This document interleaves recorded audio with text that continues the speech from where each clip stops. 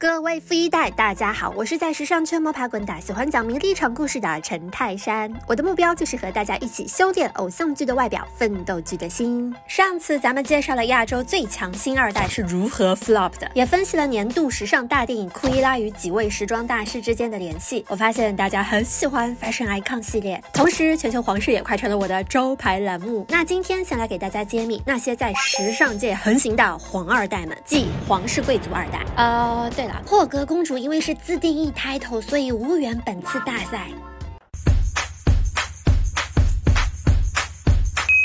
三年了没？关注了没？谢谢黑钻们。第一位登场的是来自摩纳哥的夏洛特公主，拥有法美意等八国血统，被称为最美混血公主。她的外祖母就是大名鼎鼎的奥斯卡影后格蕾斯凯莉，爱马仕的 Kelly 包就是以她的名字命名的。影后的基因让摩纳哥王室的颜值开了挂，所以公主的哥哥和弟弟长这样。救命！拥有这种哥哥们是什么幸福的体验啊？夏洛特呢，长这样，配上一七三的身高，被各大杂志抢着当模特，还做过 Gucci 香奈儿的代言人。人万宝龙的品牌大使，因为夏洛特酷爱马术，于是马术起家的 Gucci 当初为她量身设计过一个马术系列，使用了品牌经典的红绿条纹元素。由于妈妈卡洛琳公主和老佛爷关系特别好，所以公主从小就是一身香奶奶。老佛爷也曾长进为她拍照。去年十二月，一向给 title 很谨慎的 Chanel 官宣夏洛特公主为最新的形象代言人。相加这些年合作的明星，大家最爱哪位呀？估计我一定不是唯一一个看他们母女脸盲的，我甚至一度只能拿老佛爷的发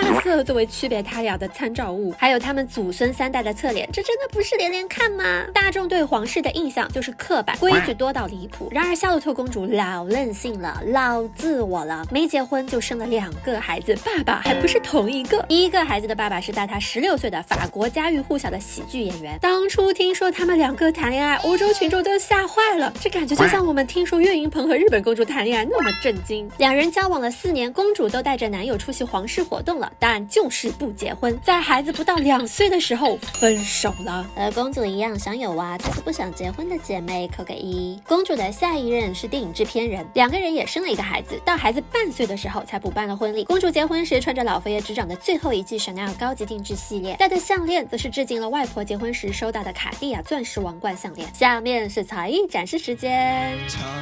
The belt that does await you.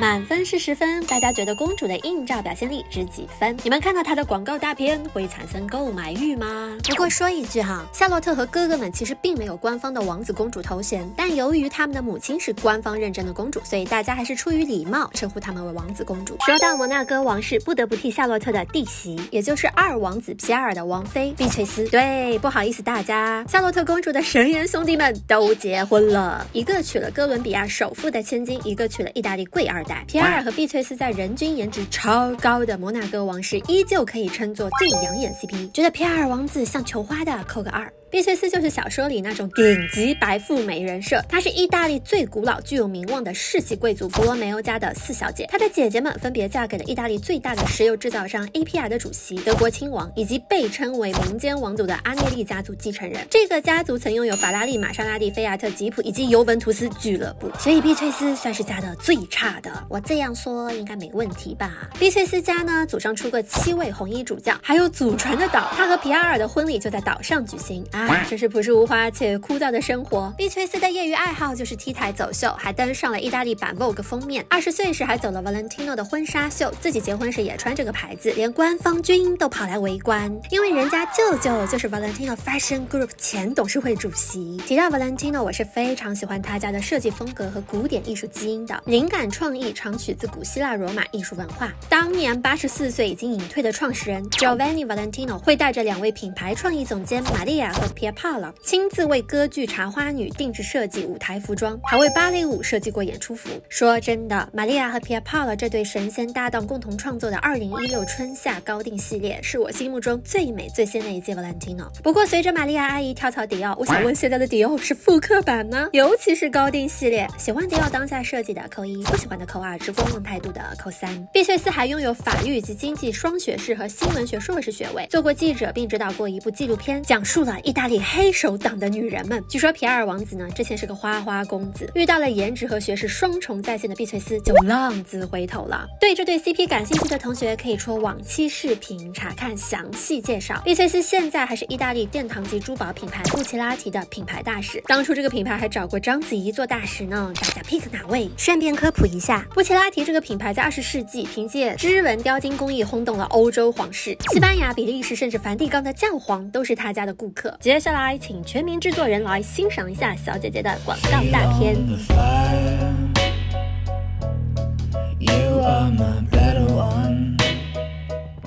大家觉得她和夏洛特公主哪位可以拿到摩纳哥 It Girl 的称号呢？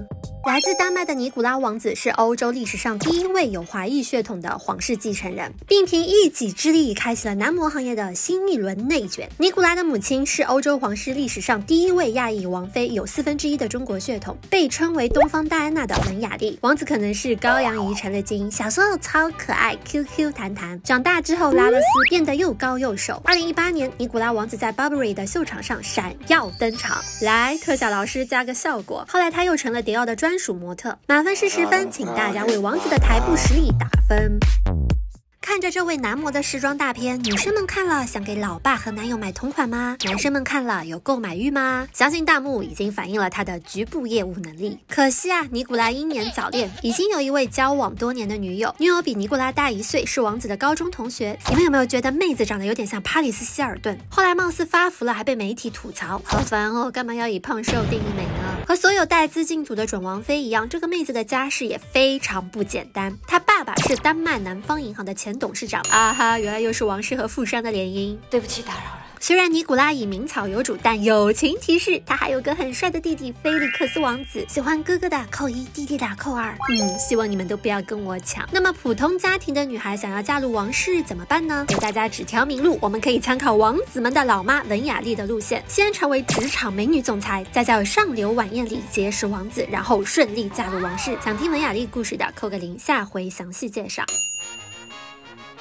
初梅根和哈里的婚礼上，英国各界名流欢聚一堂。对了，全球最美的人权女律师，我改天定给大家介绍。那场婚礼呢，让一位绿衣小仙女一战成名，吃瓜群众们立刻围观。她是谁？五分钟之内我要她的全部信息。第二天，Katy Spencer 的 ins 粉丝就从一点七万瞬间暴增至五十万。哎，我也好想体验这种疯狂涨粉的快乐。原来这位金发小姐姐是戴安娜王妃的侄女，世袭贵族 Spencer 家的大小姐。话说，戴妃家的人头发比女王家浓密的不是一点点啊！Kitty 的妈妈是个名模，在她一岁时就带着她一起登上英国版芭莎。她前脚在梅根婚礼上出圈，后脚就被宝格丽官宣为品牌大使。她的大片大家感受下，你们觉得公主的时尚表现力怎么样？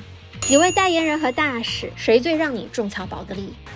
和其他贵族小姐姐一样，Kitty 偶尔走个秀玩玩，和迪丽热巴还穿过同款。你们觉得哪位赢了？不知道是不是因为从小缺少父亲的关怀，导致这位姑娘对大叔有着强烈的迷恋。之前和年长二十岁的伦敦豪宅开发商总裁交往了三年，去年呢又被爆料已经和六十一岁的时尚界富商麦克路易斯订婚了。这位富豪身价八千万英镑，大了他三十二岁，比他爹还大五岁。订婚之后，Kitty 被拍到带着价值三十万英镑的订婚钻戒秀恩爱。她的这位未婚。夫还是英国轻奢品牌的老板，当初凯特王妃订婚还穿了他家的衣服呢，真是没想到最后兜兜转转成了一家人。相比其他国家星途坦荡的贵二代们，泰国公主 Siri 的人生是真的魔幻。她的全名是。Siri Wanwari，简称 Siri，搞得我现在拆视手机里的 Siri 都会浮现公主的脸。公主的妈妈于瓦达是小三上位，被扶正没两年呢，就因为被曝和空军上校有奸情，带着六个孩子被泰王发配去了边疆。但是呢，在高僧的指点下，命格很好的 Siri 公主被泰王又接了回来，用来保佑国家平安，成了泰国杨超越。几个后妈对她也是小心翼翼。想听 Siri 公主几个后妈是如何斗法的，请扣九，改天详细讲讲。Siri 公主在运动和设计方面都很有天赋。他是泰国国家队的马术教练，还曾作为羽毛球选手代表泰国参加东南亚运动会，拿到了金牌。十七岁就作为客座设计师被邀请到米兰时装周，二十一岁举办了自己服装品牌的首秀。Lisa 和一众泰国女星都为他带过货。下面请大家欣赏一段公主指导的品牌大片。